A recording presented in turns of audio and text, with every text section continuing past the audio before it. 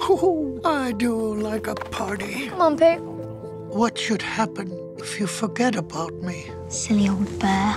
I won't ever forget about you, Pooh. I promise. Not even when I'm a hundred. We should be working this weekend, Robin. But I, I promised my wife and daughter I'd take them away this weekend. All hands on deck. You won't be coming to the cottage. Well, it can't be helped. Your life is happening now, right in front of you. What to do, what to do, what to do. What to do indeed. Pooh? Christopher Robin. No. The tree I remember was in the countryside, not here in London. There's no opening. I suppose it's where it needs to be. That's a silly explanation. Why, thank you. Pooh, why are you here? Oh, yes, I need your help. I've lost all of my friends. Let's get to the bottom of this. Look up, Pooh. Here I come. Oh, it would appear that I am stuck. Have you just eaten honey? I have not just eaten honey. I wonder which way. I always get to where I'm going by walking away from where I have been.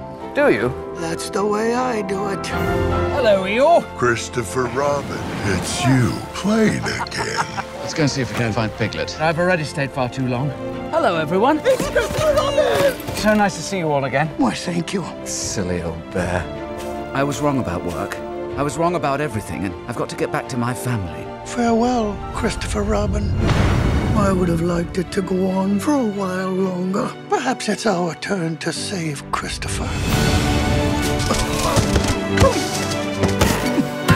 You must be Madeline. Wait, you're the bear in my father's drawings. Yes. Do you know where he is? I do. Let's bounce! I just saw the most preposterous imposter. Look at him. Tigger! Eeyore! Piglet! If anyone wants to clap, now is the time to do it.